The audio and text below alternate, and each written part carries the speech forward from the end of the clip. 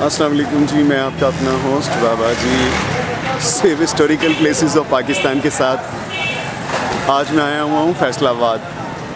वो फैसलाबाद जो कि कभी लायलपुर था। हाँ जी, लायलपुर।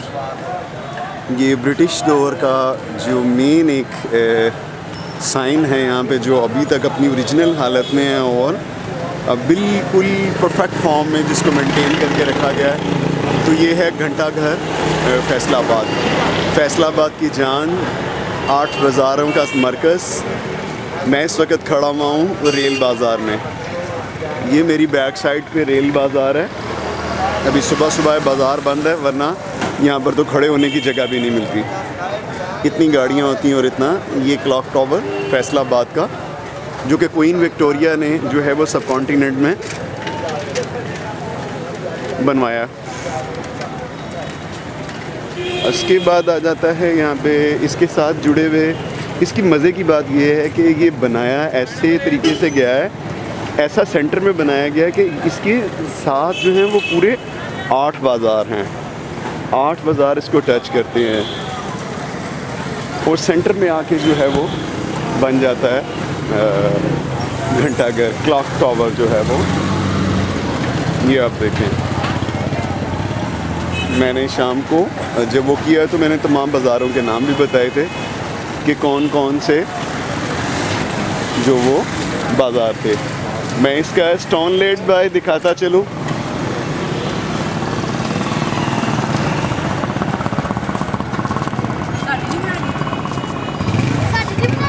ये 1930 1903 में बनाया गया।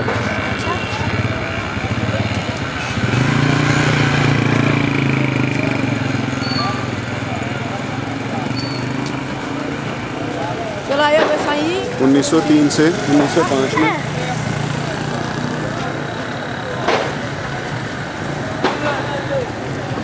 उन्नीस सौ तीन और उन्नीस सौ पाँच में जो है उन्नीस सौ तीन से पाँच में दो साल के अरसे के अंदर जो है वो ये बनाया गया। ये बहुत ही खूबसूरत किस्म का आर्किटेक्चर है। इसके मुकाबले में मैंने पाकिस्तान में कोई क्लॉक टावर इतना मेंटेन मुल्तान का देखा है, लेकिन उसका और स्टाइल है।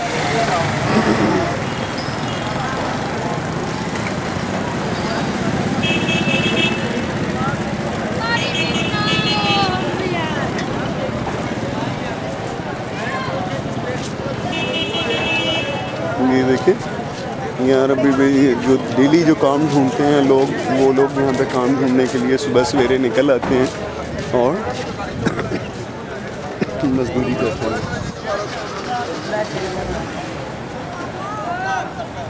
ये आप देखें उर्दू टेक्स के अंदर है। मलका विक्टोरिया ने ये बनवाया।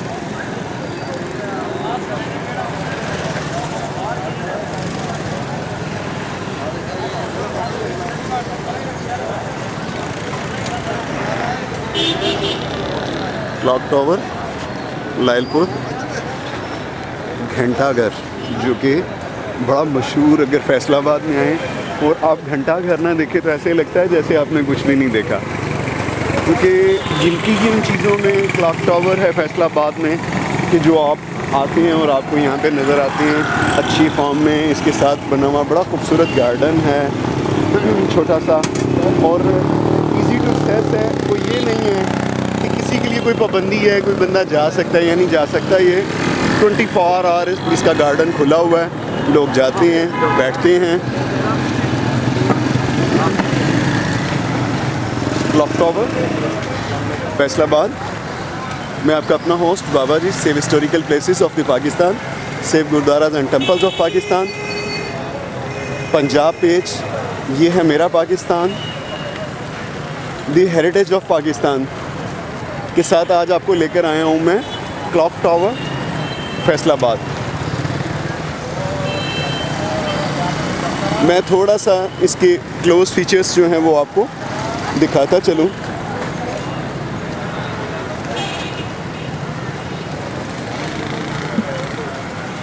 असल में धूप कम होने की वजह से ज़रा एक साइड डार्क है। तो मैं आपको यहाँ से इसका जो है वो क्लोज दिखाता हूँ इसके ये देखें। मुगलई तर्ज के अंदर जो है वो वाइट मार्बल का काम मैक्रोना का हुआ हुआ है। और ऊपर जयपुरी ये ज़्यादा जयपुरी स्टोन जो है वो इसमें यूज़ हुआ हुआ है क्राफ्टेड जयपुरी स्टोन जो पिंक स्टोन कहलाता था। सब कॉन्टीनेंट के अंदर जितनी भी ज़्यादा बिल्डिंग्स हैं, वो जयपुरी स्टोन के साथ जो है, जैसे बादशाही मस्जिद है लाहौर फोर्ट के अंदर है जयपुरी स्टोन का बहुत ज़्यादा सारा काम है। ये unique architecture built by Queen Victoria 1903 to 1905 में बना।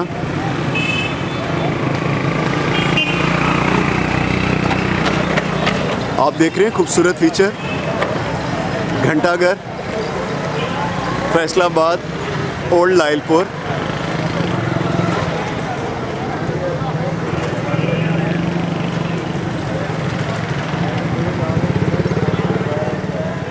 आप भी जब फैसलाबाद आएँ तो क्लॉक टावर ज़रूर आएँ। और ये प्लेस है 24 फोर आवर्स की। यहाँ पर 24 घंटे ना तो ट्रैफ़िक रुकती है, ना लोग सोते हैं। ये बिल्कुल लाहौर और दिल्ली का दूसरा रूप अख्तियार कर चुका है।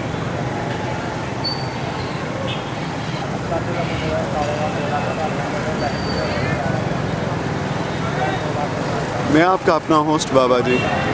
तो देखते रहिए Punjab page save historical places of Pakistan ये है मेरा Pakistan save gurdwaras and temples of Pakistan Sikh period footsteps in Pakistan और मैं आज आपको लेकर आया हूँ घंटाघर, फैसलाबाद।